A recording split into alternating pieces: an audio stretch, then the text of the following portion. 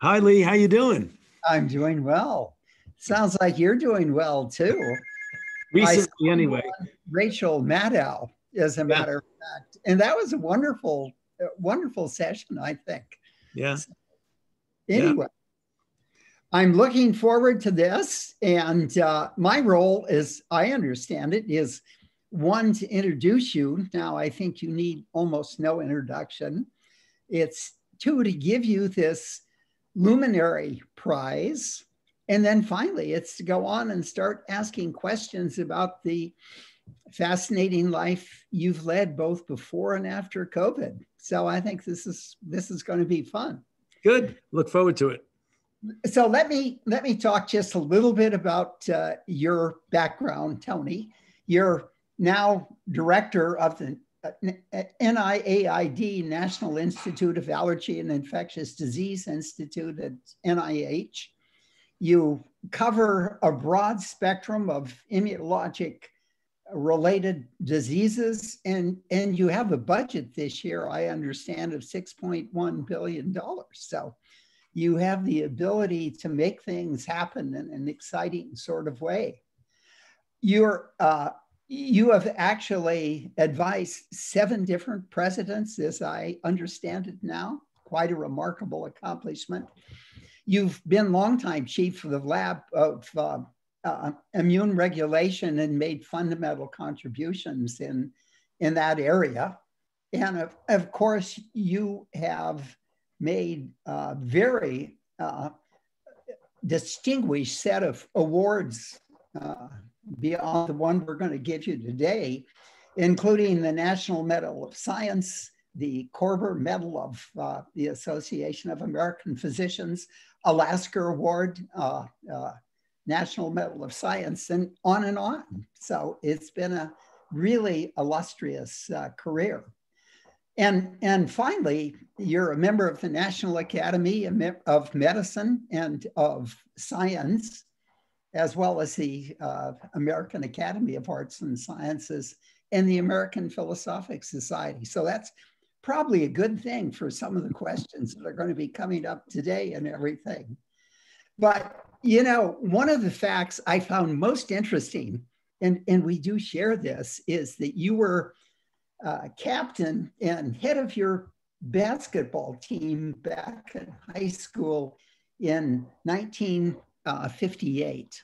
Correct. So I played quarterback at Shelby High School back in 1956 and before. So anyway, it prepared you for uh, leadership role clearly, and that's uh, that's what the Luminary Award is all about. So let me present that to you now. The Luminary Award, Luminary Award uh, recognizes contributions of prominent figures who have accelerated personal medicine to the clinic. And I think that describes you very well. And I love a quote from you which said, quote, uh, my whole life professionally has been fighting from the very earliest years, HIV, influenza, Ebola, Zola, or whatever. This is what I do. And in fact, this is exactly why you're being uh, given this award. And I think you have done utterly stellar service in the past year with COVID in uh, dealing with the infection and other issues as well throughout. And I think you've done it with grace and with humility and, uh, but a firm commitment to the science. And I think that's earned you enormous uh, gratitude recognition, and uh, and it it was obviously an enormous accomplishment. So I think uh, with that, I'd like to award you the Luminary Award, which is I think you already have now. So I'd love to be able to reach out and shake your hand, but it isn't it isn't going to be possible. Right. Well, so, thank you. Thank you very much, Lee. I really appreciate it. It's really a great honor to receive this, but particularly from you, uh, a scientist of such extraordinary accomplishments. I, I couldn't help but remember, you probably forgot, but when I was a first year clinical associate, that was 1968, 52 years ago, when I came in in John Johnson's laboratory, there was a journal club, which was you, Henry Metzger, John Fahey, John Johnson, and you invite little old me, who was a first year fellow, to join with these big superstars at the NIH. It was one of the most important and exciting experiences that I had as a young investigator. So I'll never forget that. How wonderful. I mean, you know what was really fabulous about NIH at that time, partly because of the Vietnam War, we had all of the people who were going to be later go on to be leaders in American medicine. And it was a wonderful mixing ground and chance to meet uh, people like yourself and so forth. So uh, it was an exciting time. I think we have to think about making NIH more exciting. And I've been talking recently with people that, that do have that in mind. But let's um, let's uh, turn to the questions now. Okay. So I'll start with a general question, Tony. We'll get into specifics and I'll come back to some general questions. And, and the general question is the year long or so COVID experience has been an enormous uh, challenge for contemporary medicine. And do you see benefits coming out of all that has happened with COVID with regard to 21st century medicine and what it's going to be? Yeah. Well, a couple of things come to mind, Lee. Some are in the arena of public health, and some are in the arena of what you and I think classically of as science. And I think what one of the things that's so clear uh, specifically in infectious diseases, is how we showed that the investment in vaccine platform technologies, together with prototype pathogen studies, where you can extrapolate within families of microbes, how we did something within the context of a horrible pandemic of historic proportions to go from the availability of a sequence on a database of a brand new virus to having a phase one, two, three clinical trial and have a vaccine that's highly efficacious go into the arms of individuals in about 11 months.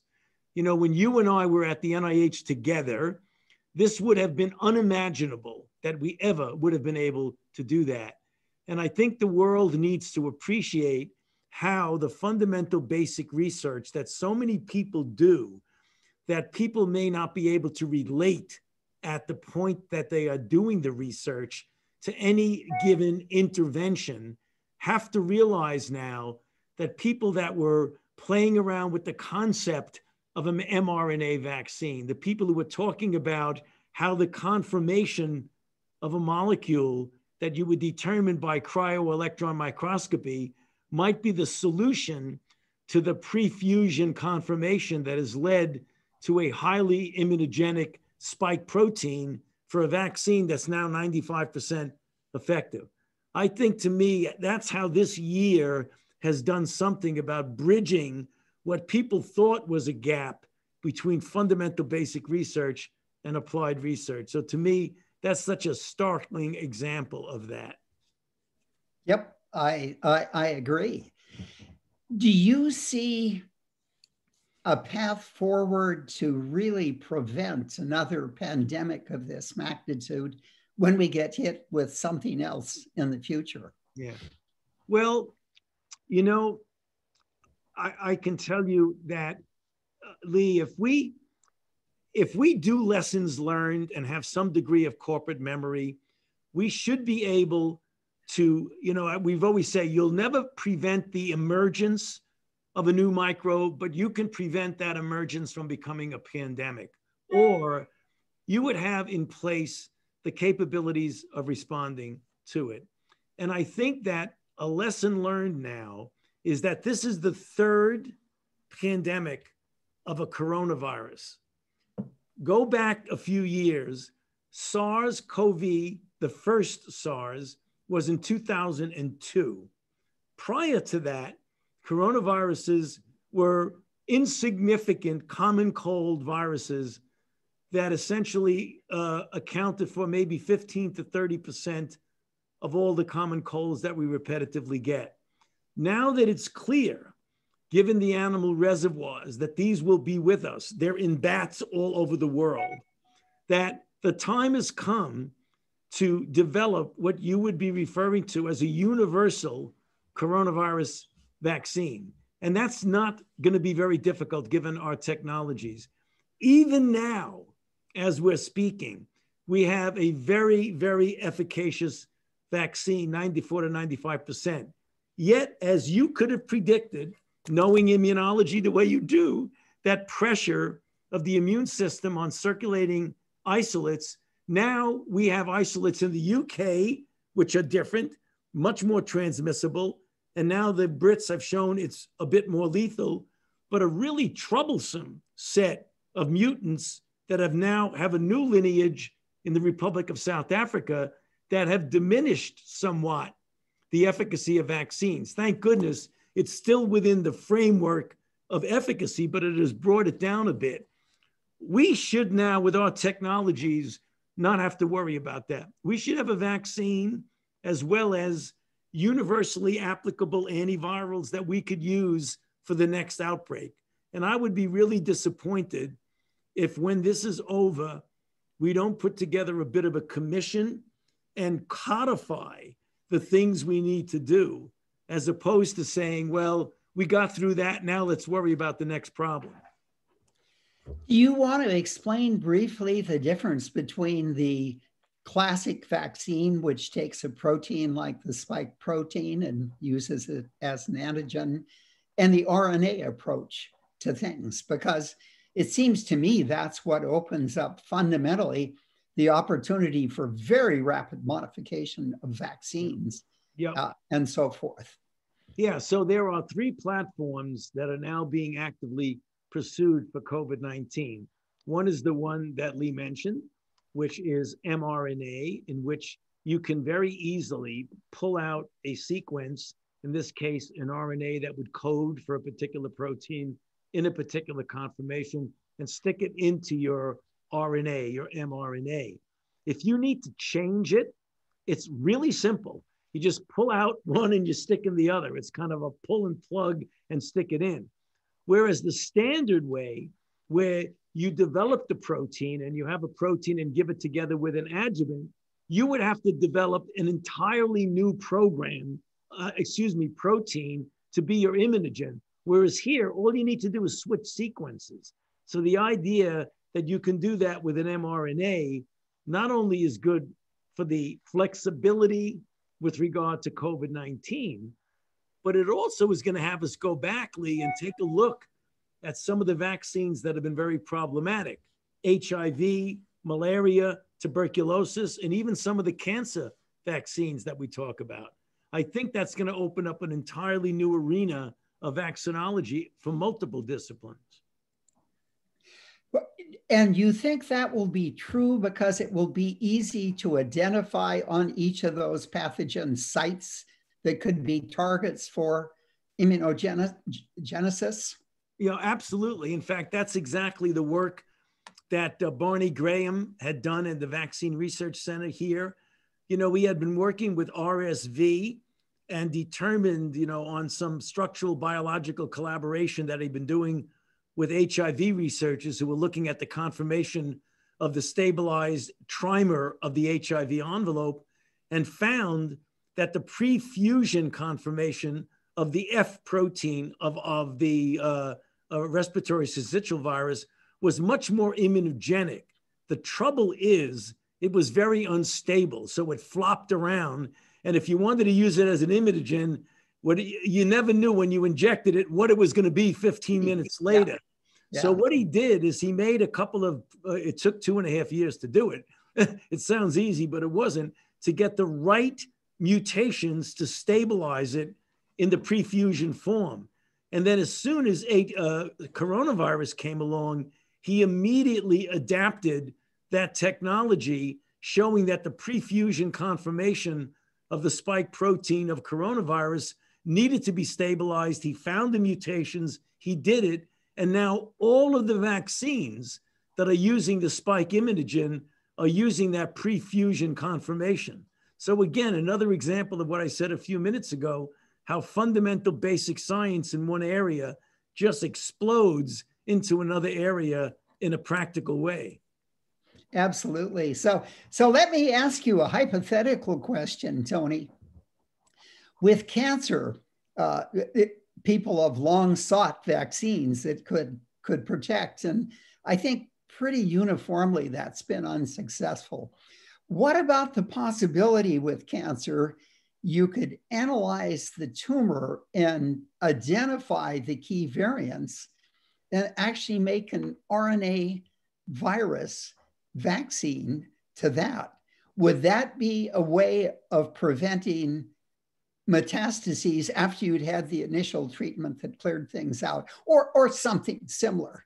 Do you see those as exciting possibilities? Um, well, I see them as exciting possibilities. And there are a lot of other people too that do too. yeah. Yeah.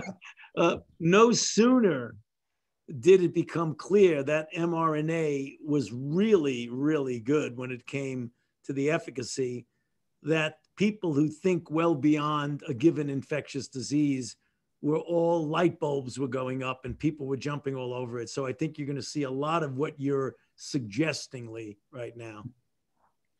So, a question on the vaccines. Once you get, well, let me ask you first if you just have one shot and your state decides to spread the vaccine around and that's all you get for a while, how good is that protection going to be? Do we have any sense of that, Tony? Yeah, we do, but uh, uh different platforms are differently. So the, the Moderna mRNA and the Pfizer RNA the studies that were done with a lot of people 30,000 people in the trial for Moderna, 44,000 people in the trial with Pfizer, that the optimum response, if you give a prime right around starting from day 10 through day 27, you get about a 50% protection whose durability is modest to minimum.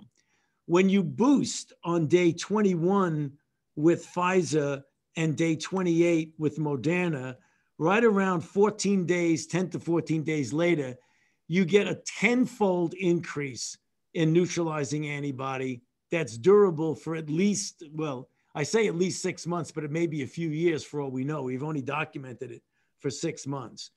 When you use a human Ad26 vector with the insert being the same spike protein uh, um, uh, uh, uh, genetic sequence, you can get a good response like 14 days after the prime, and you don't need a boost.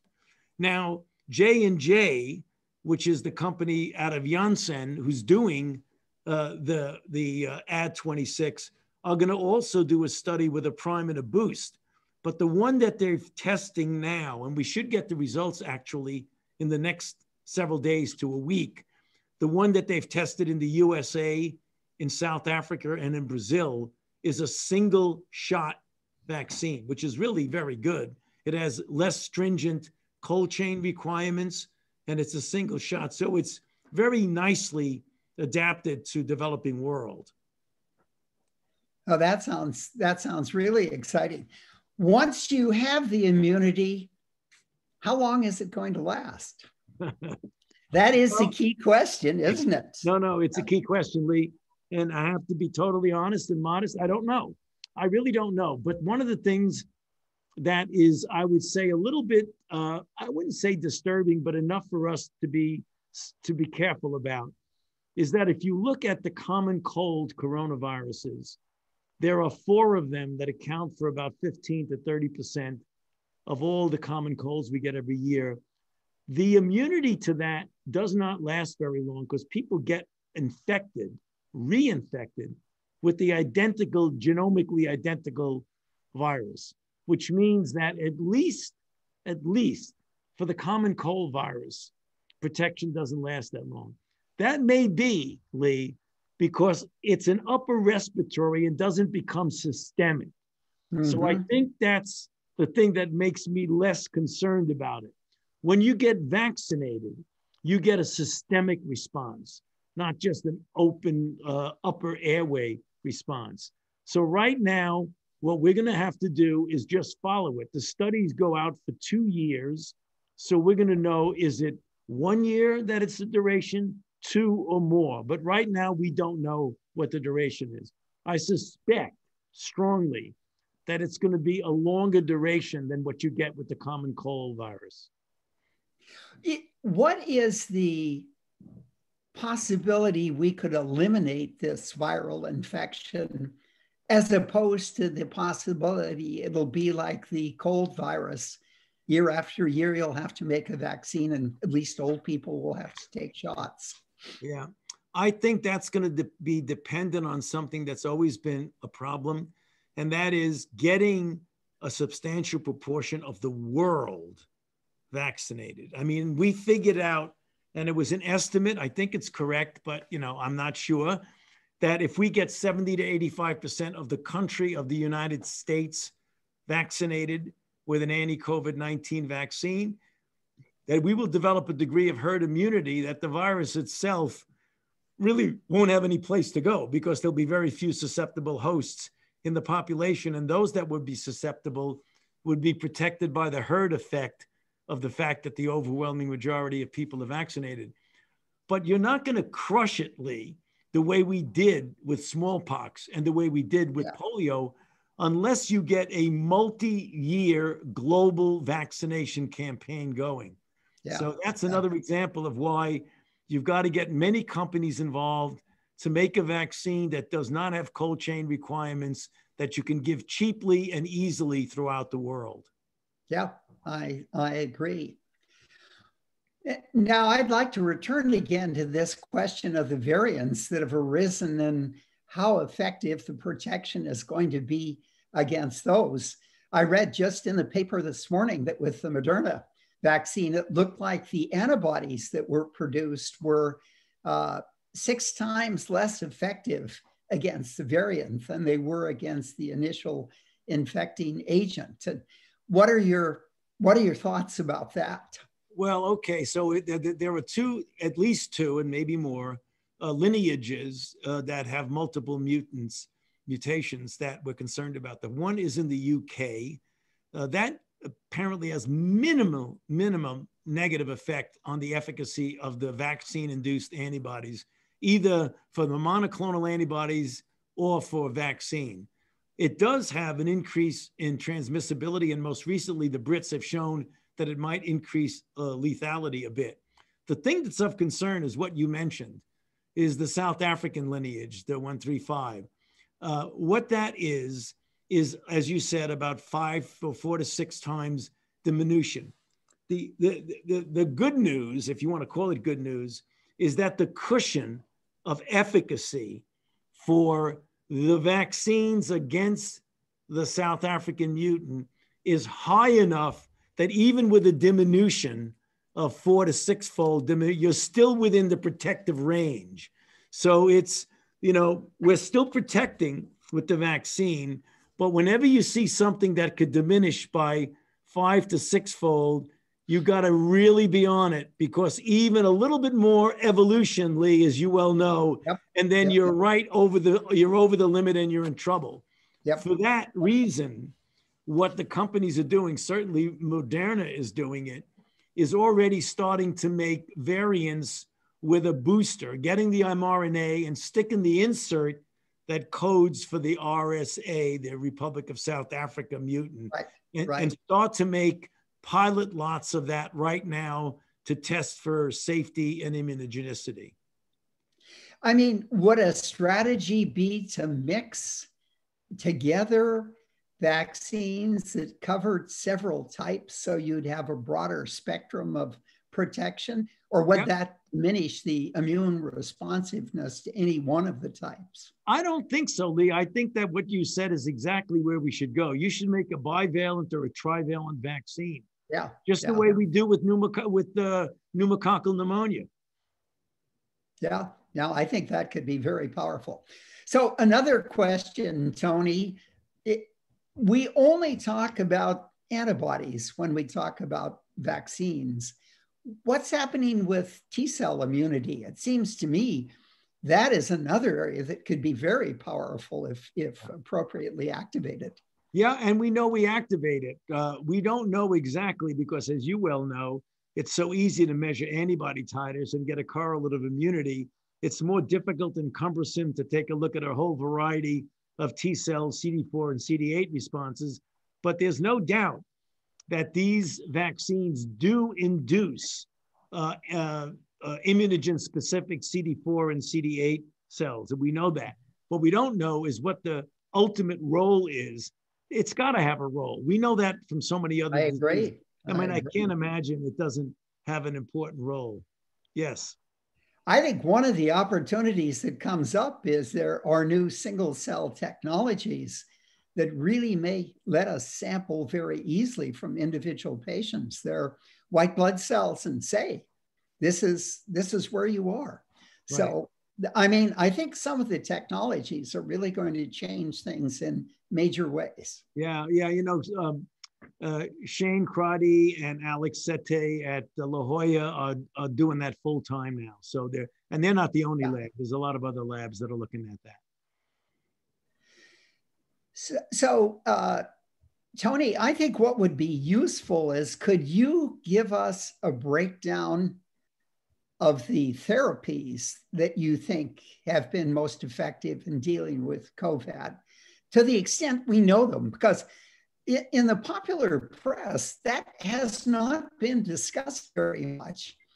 And we've heard hydroxychloroquine, we've heard a lot about that on both sides. But what about what about the other ones, the anti-IL-6s, the, the antivirals? Uh, and we have good examples of where they're being used. I'm just wondering how effective they are. You know, we don't have any knockout punches like we have with the triple combination for HIV that when you give, you can essentially bring a viral load down to below detectable level to the point where you not only lead a normal life, but you don't transmit to anybody else because it's a chronic infection. It's, it's quite different. You know, HIV, you drop the virus down and everything else gets better. Here with, with COVID 19, there are so many secondary hyper-inflammatory, aberrant inflammatory responses that you see, the mechanisms of which, Lee, we still are not quite sure of, how you can get an aberrant triggering of an immune response. But in that context, as simple as it sounds, the treatment that has definitively shown to be the best is in hospitalized patients on ventilators or requiring high flow oxygen, dexamethasone, six milligrams a day for 10 days, decreases the 28 day mortality significantly. Then you get to others that you were referring to, and there's variable results. When it's done in a randomized placebo controlled trial, generally doesn't show a good effect. When you have observational and other studies, things that block inflammation, whatever they are, IL 6, IL 6 receptors, things that are blocking JAK kinases, and all the kinds of things that are downstream yep. from, they seem to have an impact. The thing that we really need, Lee, is we need drugs that can be given early on to prevent someone from advancing as opposed to treating them once they've advanced. You have right. monoclonal antibodies that have got emergency use authorization. The trouble is because they're required to be giving intravenously, you tend to treat later than you should. If we had the logistics of an infusion center that if you got COVID and you were getting symptomatic, you could go in, get an infusion of either gamma globulin or convalescent plasma or antibody that's a monoclonal antibody, the results would probably be more striking right now. It's yeah, very yeah. interesting.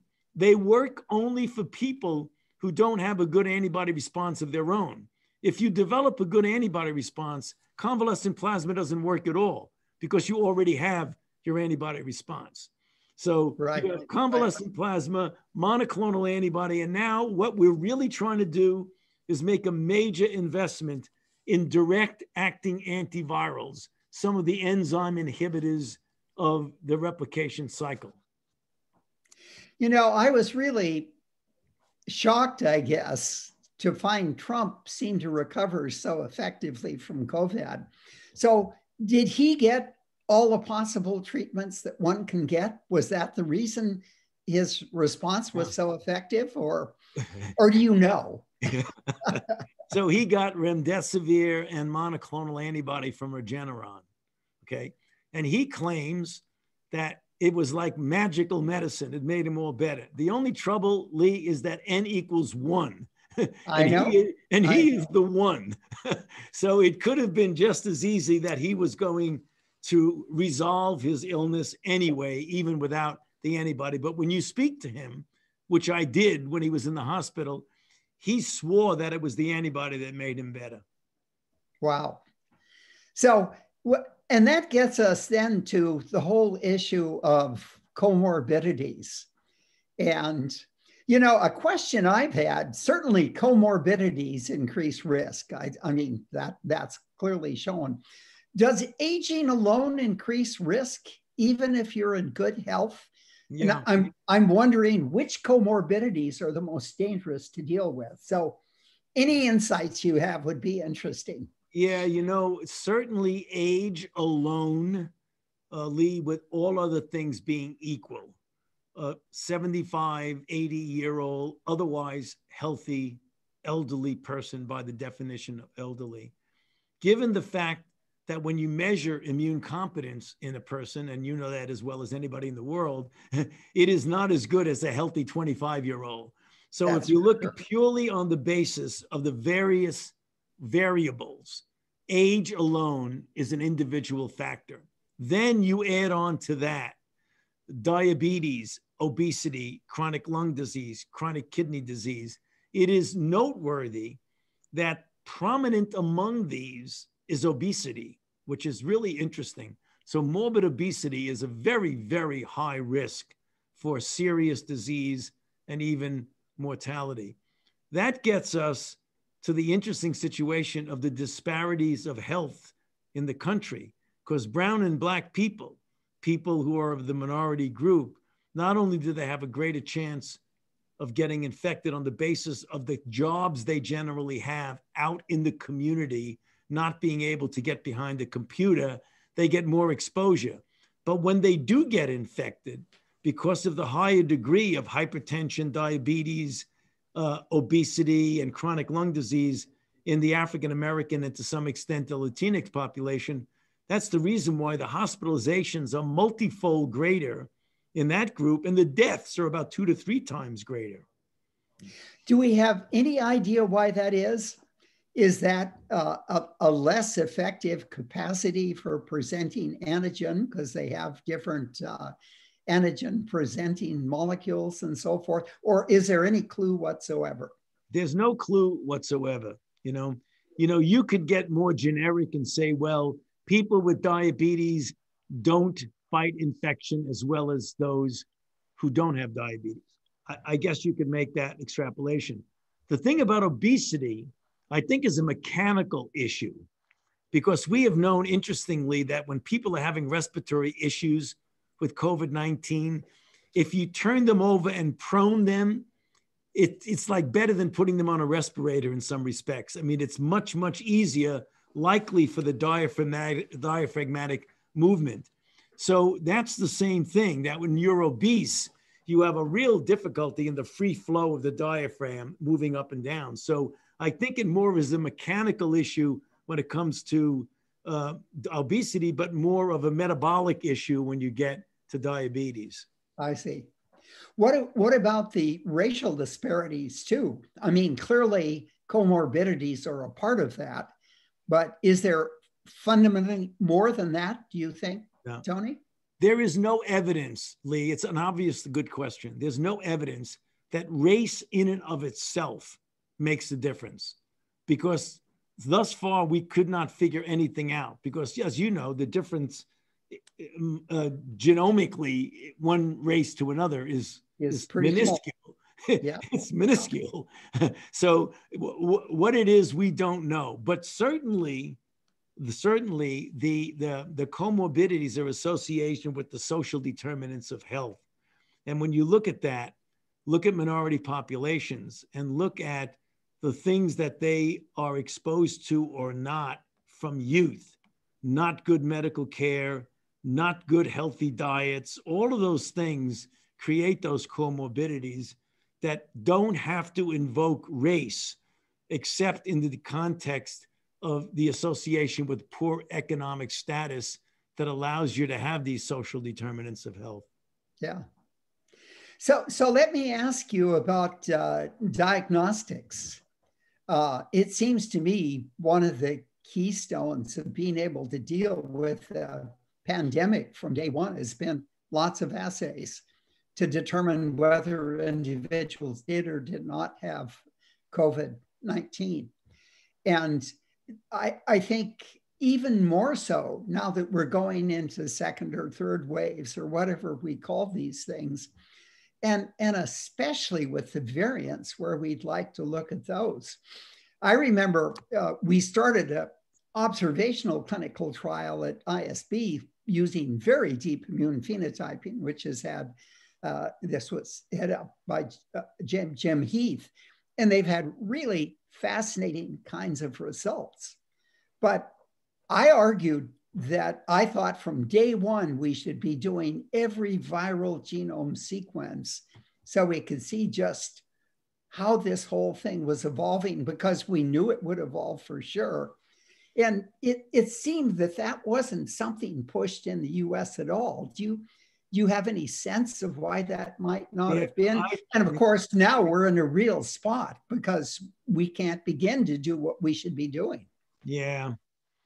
That is, um, I think, an uh, somewhat inexcusable deficiency that we've had I mean, it, the Brits, as you probably know, do many, many, many fold more sequence surveillance than we do. We really have got to build that up. We now are much more doing that where the NIH is partnering with the CDC. It's still the major responsibility is the CDC. But one of the things we have in this country that they don't have elsewhere is that we have this independent groups you got the Broad doing what they do. You got Illumina doing what they do. You got the NIH doing what we do. Instead of having everything going into one database, it's it, you have to go searching around for it. Well, the CDC has put together um, a, a, a, consortium called Spheres, S P H E R E S. I keep forgetting what it stands for, but what it is is to really get all of the different centers that are collecting genomic surveillance data and streaming it into one accessible database so that we can do much more than we're doing. But you're absolutely right. And the reason it comes back to bite us, Lee, is because people say, do we have the lineage that's South Africa in the United States? And we know it's not dominant, but we don't know it's here or not because we haven't yeah. done enough yeah. comprehensive sequencing to know if it's here or not. And right. that's the problem. We got to do that really quickly. I agree. I think that's really important. So let me ask you about another aspect of, uh, of COVID 19 that has really intrigued me. And that is uh, something that's come to be called the long haulers. These are individuals that go through their treatment, their release, their uh, by, by diagnostic test COVID 19 negative, but they end up having consequences from the infection that persist for extended periods of time. And they can be cardiovascular, they can be neurologic, they can be GI, they can be uh, pulmonary.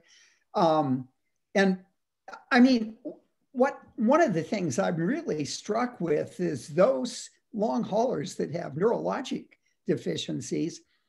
It reminds me in some ways of chronic Lyme disease. And that again is an infection that starts with a, uh, a, a, microbe type uh, organism, Spirillea organism, and it maintains itself long time.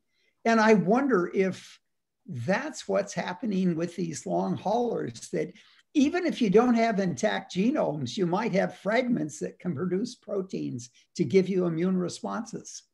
You know, that is conceivably Um, first of all, it, it, for the audience, A, it's a real phenomenon. I mean, it, if you look at people who have some sort of symptoms, you know, you have 20 plus million people in the United States infected, a small proportion of them go on to develop symptomatic and serious symptomatic disease. But of those who have symptomatic disease, even if it's not requiring hospitalizations, have exactly what you're describing.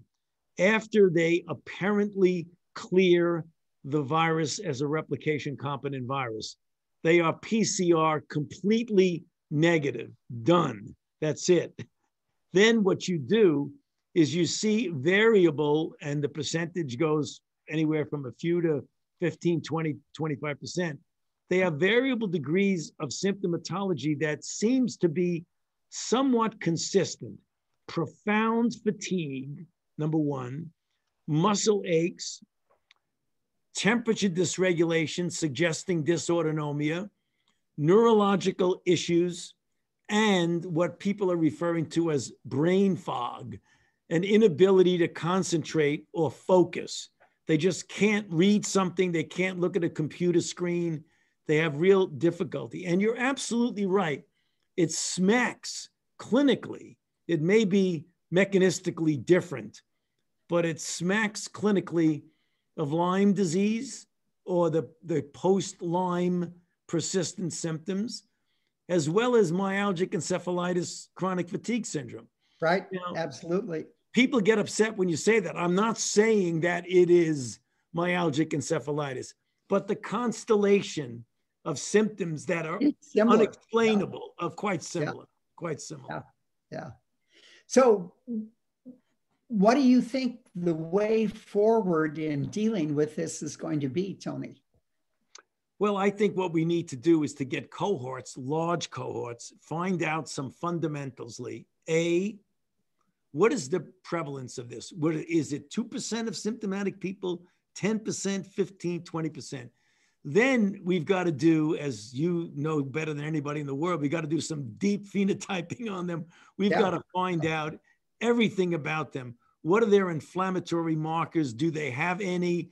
What are, you know, single cell expressions, you know, of uh, of of uh, of, uh, of genomic expression at the very sensitive single cell level.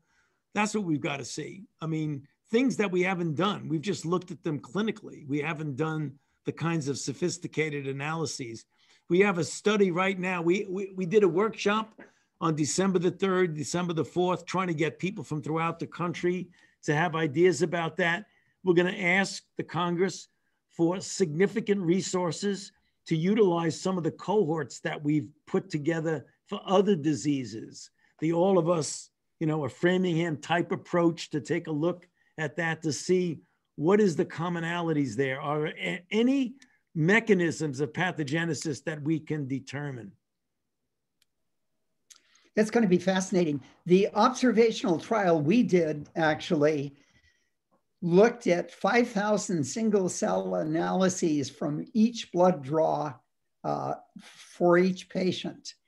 And with deep transcriptome analysis and more recently epigenetic analysis, you can define what every single cell is and its activation state.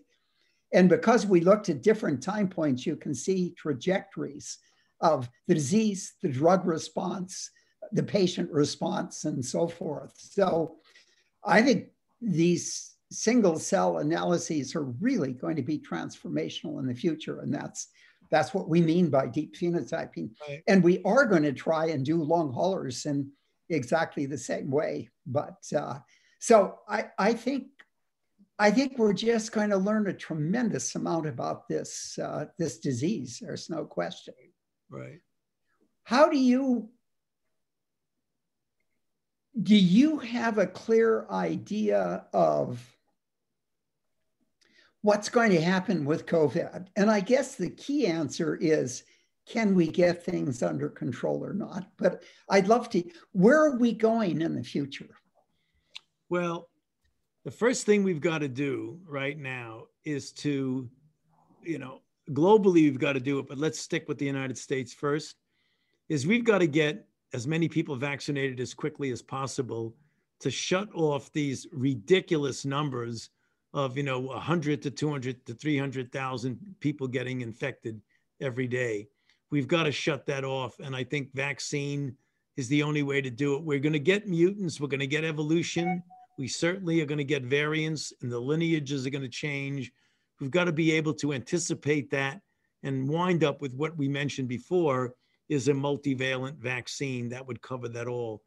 We, we've got to we've got to crush this, the way we did with other pandemic infections like polio and smallpox, measles, and things like that. And do you think we have a reasonable chance of doing that? I do. I do. I do. But you know, what we have to do is the world has to pull together. We have to have, you know, a, a commitment of cooperation, collaboration, and solidarity so that everybody in the world can have access to vaccines. We've got to do what we did with polio. We can't just say the rich countries are going to be the ones that are going to get vaccinated because as long as you have the virus circulating in countries that have high population and low health care and low accessibility to vaccines, the virus is going to continue to evolve. We think, we don't know, but we think that one of the reasons for the evolution of the mutant that's seen in South Africa now is that a substantial double digit proportion of the population is infected with HIV. And if you get somebody infected and they don't clear the virus as rapidly, and you give the virus an extra few days to replicate in a host that's not clearing it, the immunological pressure in that host is going to pressure the virus to mutate. Right. So it is entirely conceivable that when you have a highly suppressed population like you do in South Africa with people who have immunosuppression related to HIV, that could be one of the mechanisms where the immune system essentially puts pressure on the virus to mutate. So, so let me ask you an interesting question, Tony. If back in February, COVID came along and we had an administration that believed in science, what should we have done? Well, I mean, there are a lot of things that we should have done, um, Lee. Like I discussed in the my interview in the, in the New York Times, I, I don't I don't take any pleasure out of having to publicly contradict or or um, show the the incorrectness of statements or policies that an administration might make. But I, I, I had to do that early on because what we saw so much of was policy and discussions by anecdote as opposed to science. Yeah. You know, yeah. I was trying to make the point, you know, as you had mentioned that we were joking, you know, n equals one is not a scientific process, it's an observation that is not backed up until you do a clinical trial. So we were having people, and we didn't even know who they were, friends or acquaintances who would phone in access to the highest office in the land, say, Hey, I just took this and I got better. Then all of a sudden, I wow, that must work. So that that doesn't work when you're dealing with. And also, I think the the fact, and this is no individual's fault, it's just the nature of our country, Lee, that to have a serious historic outbreak occur when there's extraordinary divisiveness in society and an outbreak of this historic proportion if it requires anything, it requires unity and people pulling together because we're all in this together. When you add the divisiveness, the political divisiveness that occurs, where wearing a mask or not becomes a political statement, that is antithetical to how you should be responding to a public health crisis. And that's Boy, why we are where we are. That's why we now, now let's let's but let me go back to my question and say, let's suppose Biden is president in February and we're facing what we face. What could we have done then, you think, that would have I mean, I mean, there are a lot of obvious things, but I'm just curious what you think would have been the most important things to do. Well, there were several of them. One is to admit, you know, as I've said publicly, the only way that you were going to fix a problem is when you own the problem. So if you have denial as to the existence or the seriousness of a problem, you'll never fix it. So yeah. one of the things that didn't occur was there was many respects, as you know, I mean, it's public knowledge now. I would be saying we're in trouble. We need to double down. These are serious situations. And then you'd get a statement from above that would say, oh, it's going to go away like magic. You know, it, it, it's not. It's not going to go away spontaneously. And I think one of the things we have now, it doesn't mean we wouldn't have been hurt badly because every country in the world really has gotten hurt badly. So I don't think it would be a magical turning around with a different administration, but it would have been different.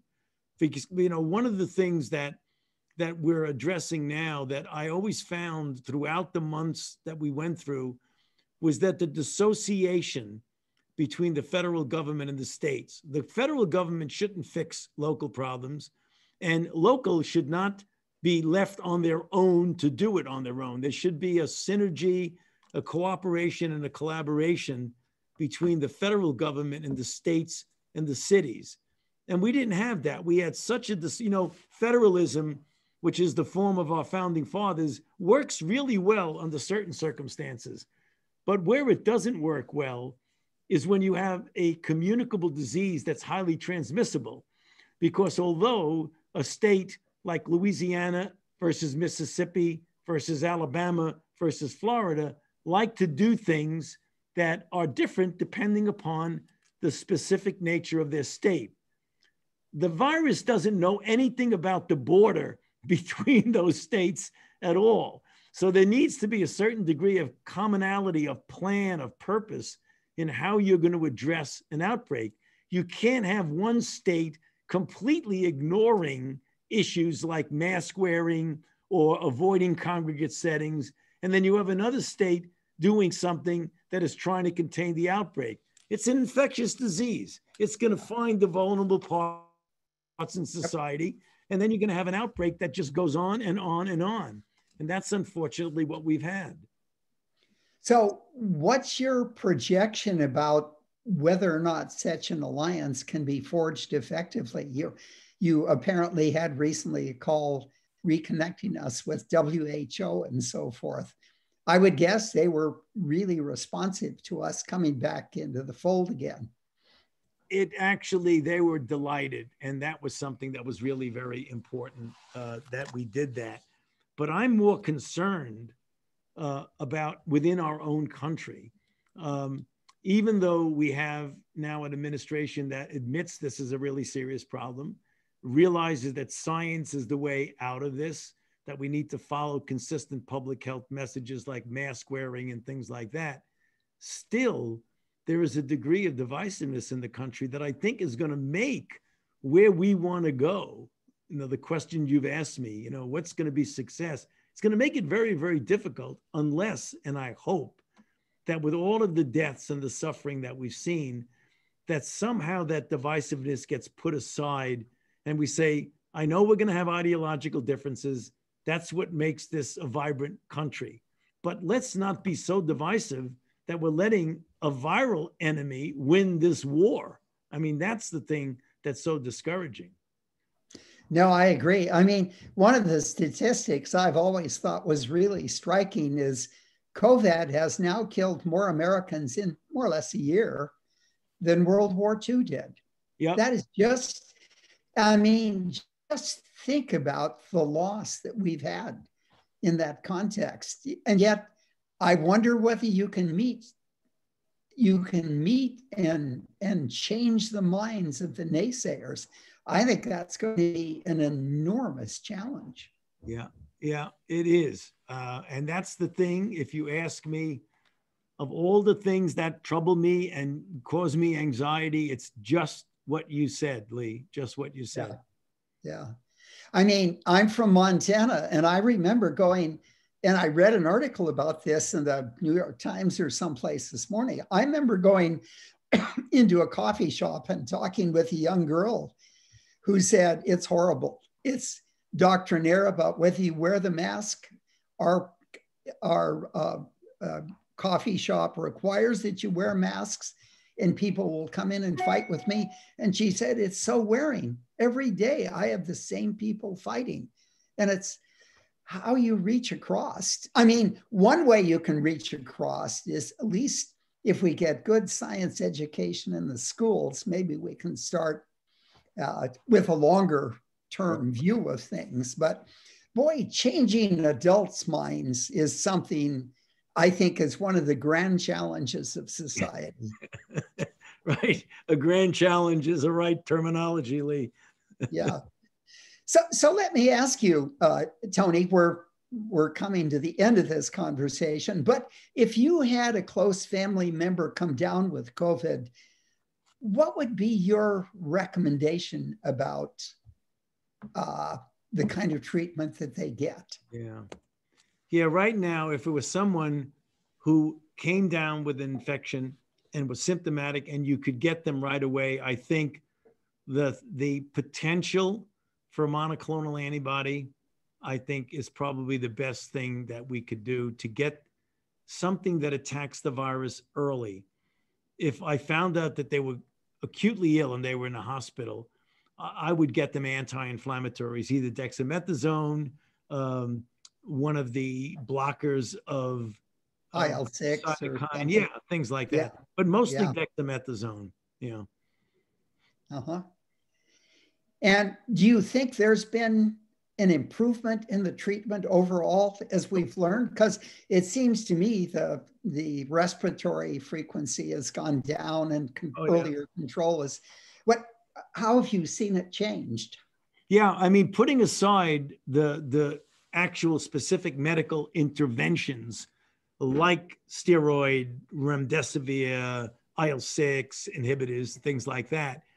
The experience in how to take care of this brand new, somewhat puzzling disease has allowed us to do simple things that actually have made the mortality go way down. For example, when people would begin to become in respiratory distress, we would immediately put them on a ventilator. We find out now that sometimes that's the worst thing. Worst thing you, you can do. do. Yeah. Right. Yeah. You want to give them high flow oxygen, position them in the prone position so that move air better.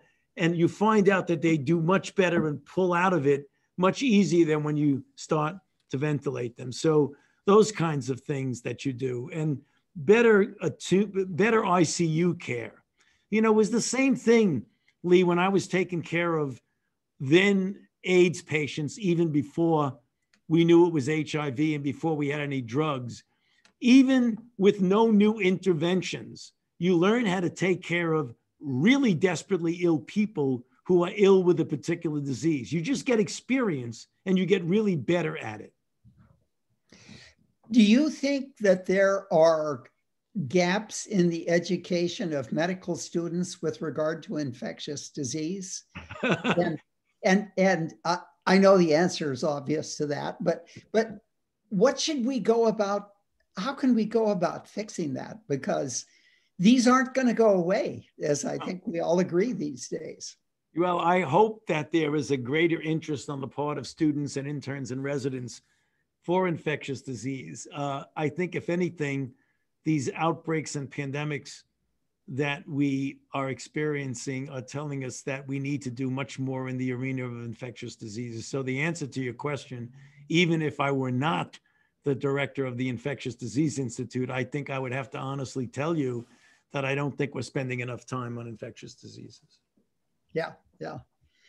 And, and I guess that also relates to understanding immunity better than most medical students right, understand right. it too. Indeed. Uh, uh, yeah. So, um, I think there I have, any? I think I have to run, uh, uh, Lee. My, my staff is telling me somebody. I, I okay. Do you want to make a final one sentence statement or two? It's been a terrific interview, Tony. Thank you very, very much.